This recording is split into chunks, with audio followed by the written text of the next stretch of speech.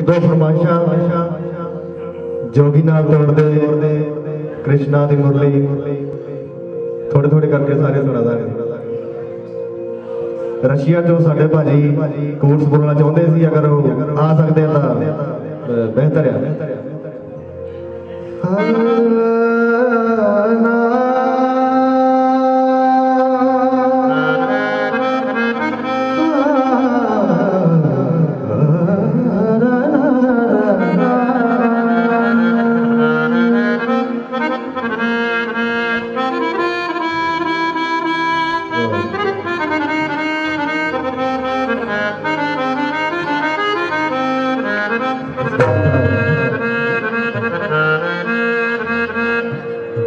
যথা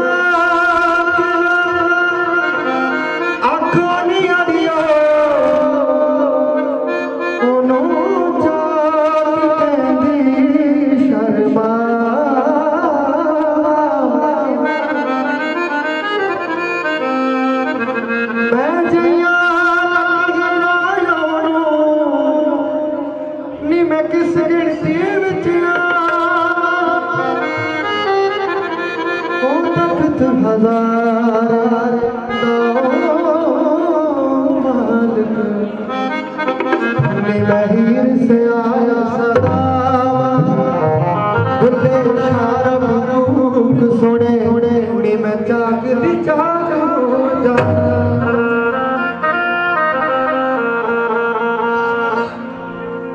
ਸਾਰਿਆਂ ਨੇ ਹਲਕੀ ਹਲਕੀ ਤਾੜੀ ਦਾ ਨਾਮ ਗਾਣ ਵੀ ਕਰ ਲੈਂਦੇ